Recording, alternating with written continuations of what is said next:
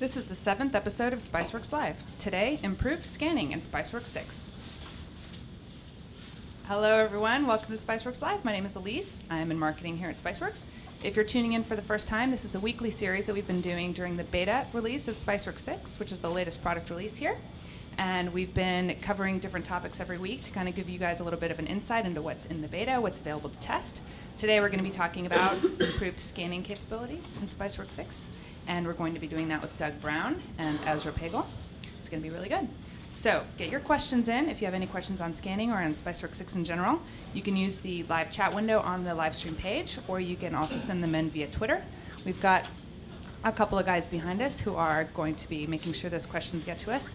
Be sure to use um, hashtag SpiceWorks6 though, so they can um, catch them. And at the end of the broadcast, we're going to be giving away a SpiceWorks 6 T-shirt, which is very cool.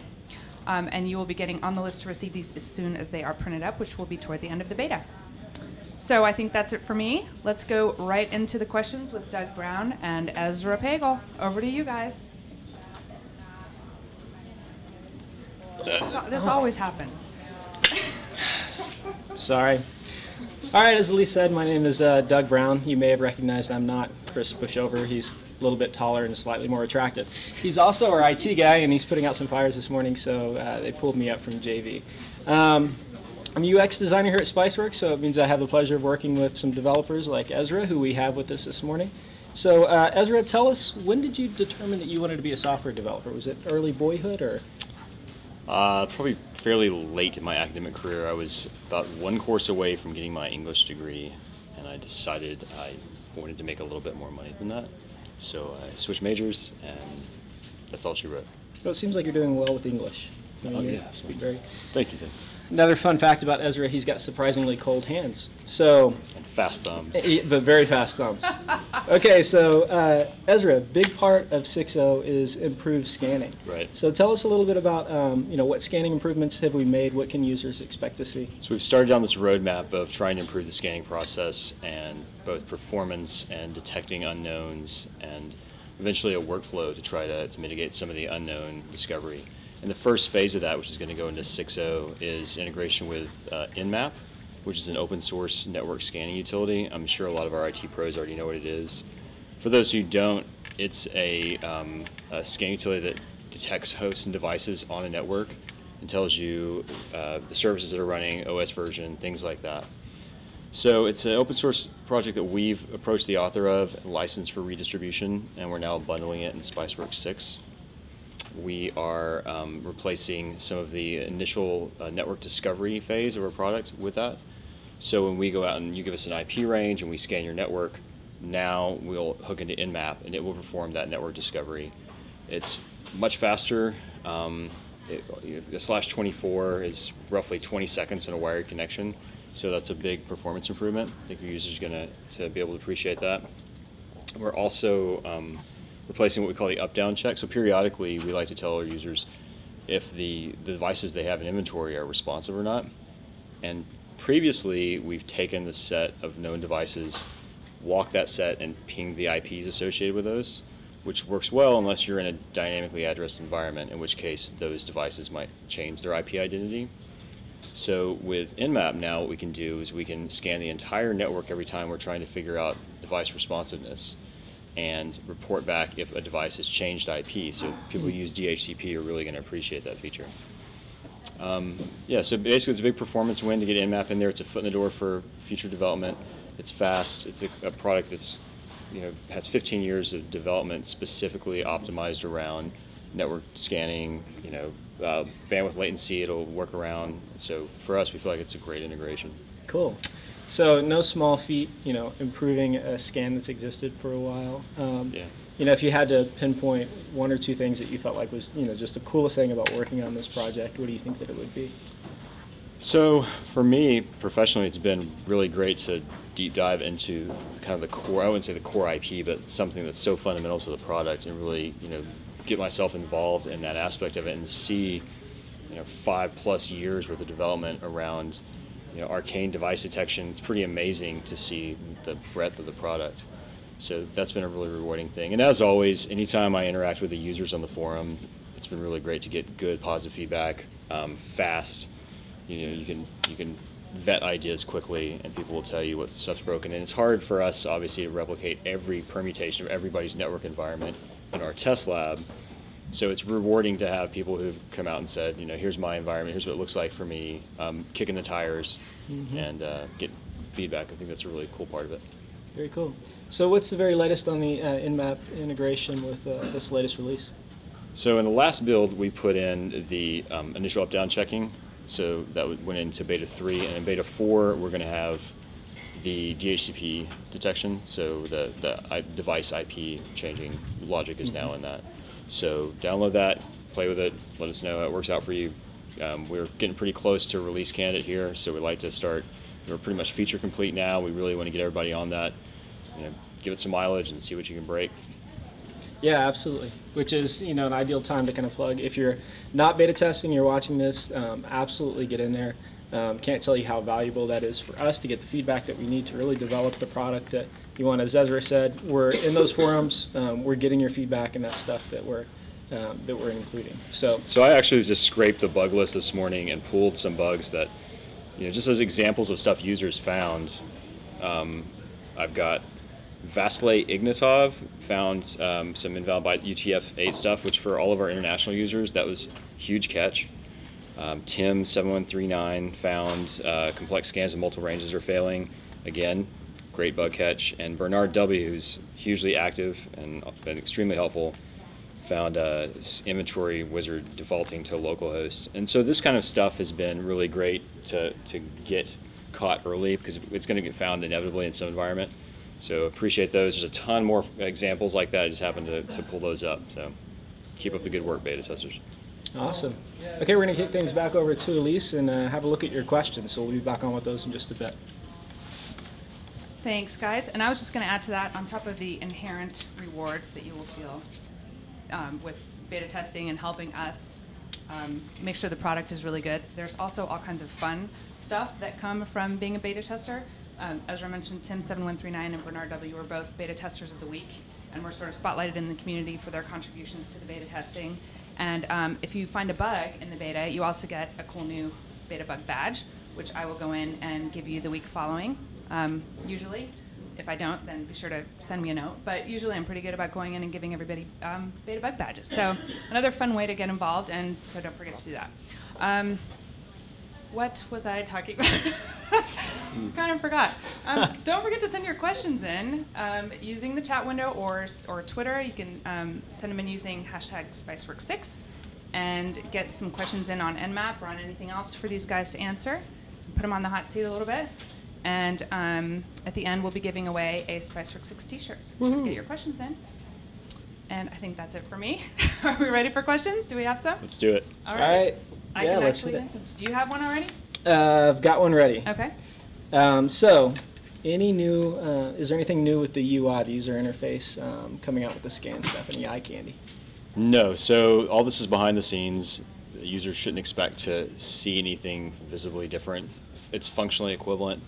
Um, it's performance improvements, but there's nothing surface in the UI that you're going to see relevant to Nmap. Okay. Um, all right. Next question: Will we be able to specify all the Nmap command line arguments we know and love for scans?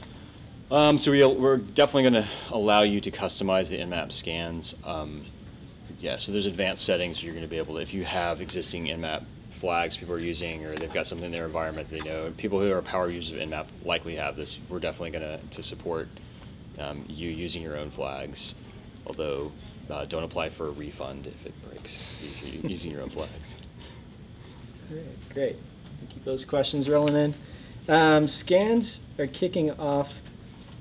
Apologize. I'm learning to read a little handwriting here.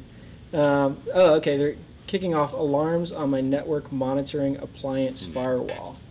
Uh, why didn't this happen before, and what do you do about it? So we've seen some users report this back on the forums, and uh, it's likely it's a throttling issue, or there's some kind of um, firewall rule in place to limit a number of simultaneous open connections or something like that. I would say those are the kind of things we're trying to catch in beta um, and try to knock them out now, so we can, either allow alternate flags. You know, I just talked about customized Nmap flags. If, if that's going to be a problem, we can throttle it down. Nmap supports how aggressive uh, you want to be on your scanning. So. Cool. So, um, has any uh, have there been any non-Active Directory scanning improvements, or non? Just says AD. I'm assuming that's Active Directory. N- So that works just like it does today. So if you're doing um, OU specific scans, if you want to do a WAD colon scan, that will work just like it does today. Okay. All right. Another question here. Um, Nmap six uh, came out this week. I didn't know that. Did yes. How about that? So, uh, are we using that? So as of now, we're not, and it's unlikely. We're doing some performance testing right now, and unless we find something markedly improved, um, we're not going to switch. It's just pretty late in the game for us to do that, and we've got plenty of time. You know, future releases, if we want to integrate that, we can. If there's something that's a massive performance difference, then we'll make a, a fast switch if we feel like it's stable enough. I'm sure after three years of development it is, but for us, like all of the regression testing involved is going to be a pain. So I think we're going to stick with 5.5 for now. Okay. Um, so, will the Nmap scans use ping scan or full port scan by default? So um, actually, it's not to nerd out here, but if it's on LAN, it'll use layer two um, ARP scans, and if it's um, off LAN, it will try a variety of protocols, ICMP um, being one of those. So we supply a specific set of ports that we're going to scan, um, and they're the services we're looking for. And there are alternate flags if you want to do something be- beside, above and beyond the services we look for. So yes, ICMP, but others. Okay. Uh, so, will scanning be a user scan as well? Uh, that uh, yeah, will scanning be a user scan as well that can return the logged on user to that PC? No, the scan, n- not from Nmap. I mean, we'll be able to return that data. So we're using Nmap just to do the initial device identification. We're still using all the proprietary uh, SpiceWorks logic to deep dive into the device, and we'll tell you who's in, but we're not going to get that off the Nmap scan. Okay. All right. Waiting More? for more questions. If you have any deep personal questions for Ezra, I think he's taking those today as well. Preferably offline. we'll send you his personal email. I'll need a drink of that orange liqueur. that Yeah, where did? had. I guess it's Wednesday. Oh, here we go. So, will Nmap work together with remote collectors and or the new remote agents to make our lives awesome? So Nmap coexists just fine with remote collectors, remote agents. Specifically, the remote agents, it won't. It does the exact same thing as a finder scan that happens upon a remote agent that's on the network. If you've got a remote agent there, it'll pick it up. It'll defer to the remote agent's um, data, and it works with the remote collectors transparently, so it looks just like it does today. Okay. Lives awesome. You're improving lives with the new Nmap feature. I bet you didn't know that. Faster, better, stronger, maybe. Awesome, fantastic. So, did you um, letter in thumb wrestling in high school, or No, I was just speaking of JV. I was I was Okay. benched a lot on on thumb wrestling. Yeah, you have very large thumbs. I was thinking you got me beat. No, no, it's definitely rule of thumb. I think you're. Uh, Uh oh. Here we go. One more stalling. Will Nmap discoveries integrate into inventory tools in SpiceWorks? Yes, that's uh, inventory tools. So that's how we pull the inventory. Yeah, most definitely. We're, we're, that's how we're going to be populate, deciding what devices to populate in inventory. Yes. Okay. And um, T-shirt. Oh, hold on. Here we go. More. You guys have to type faster. What about systems with multiple NICs? So if if it's a uh, if it's the SpiceWorks core server, the SpiceWorks app server that has multiple NICs, it will scan those just as it does today, multiple network ranges. Um, it'll detect and use the same logic we do today. It'll correlate whatever the um, the networks that it has it finds those devices on. We don't report we don't we won't report multiple devices back. We'll just report coalesce those into the same device. So if it has multiple NICs, we'll report multiple IP identities for a single device. Okay. Good question, though. Uno mas. Oh, we got one more. It's our final question for today. Duplicating MAC addresses, uh, devices with Wi-Fi and wired MAC addresses, How do you prevent duplicate uh, duplicate discovery? So read that to me one more time. Duplicate MAC addresses. So unless you're in a virtual environment, that's like such an edge case that MAC should be unique. Um, you, we have the same. The prior question kind of hit the same um, topic, which is what happens if you have multiple uh, NIC identities on that, and we'll just have to correlate them back to the same device. So we have plenty of devices that have both wired and wireless connections, and we know how to, to correctly populate that data. But it's pretty straightforward. now, Alright. if there's something something's got multiple, you know, dupe MACs, it's a different story. Cool. Okay, we've been talking with Ezra. Um, thanks for your time, Ezra. Obviously, working hard on getting that stan, uh, scan stuff improved in N260. So now I think I'm going to kick things back over to Elise, and she's got some exciting Thanks, news. guys. I do. Let's make sure to get these in there too. Oh, we've got questions. Everybody can have a shot at this awesome T-shirt. I don't know if that one has a name, so I'll have to rely on the system. All right, and I'm gonna have Doug do the honors. Okay, Shuffle them up in there a little bit. some of these are very small.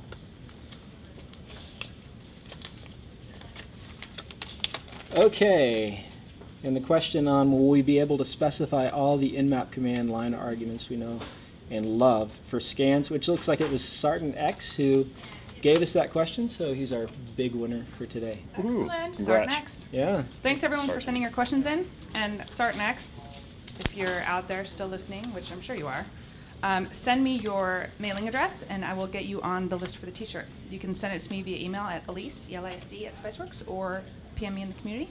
Um, but congratulations to everyone. Um, thanks for sending your questions in. Hope you guys got a lot out of it. Don't forget to get in there and beta test. Hit us up out on the all forums. Yeah. Do what? Hit us up on the forums if there's any yeah. more questions. Get your questions in on the in the on the forums in the SpiceWorks Six group, which you should be following. I'm sure you all are. And um, and and and oh, and um, yeah, you can also find recordings. We've done six prior episodes where we've covered a lot of different topics and features in SpiceWorks Six, so you can find those in the SpiceWorks Six group as well. So be sure to chime in and let us know how you liked SpiceWorks Live, if there's anything you'd like to see covered going forward, and what you thought. So thanks so much for tuning in. We'll see you all next week, uh, same time, Wednesday at 11 Central Time. And thanks for tuning in. Thanks, guys. See you later.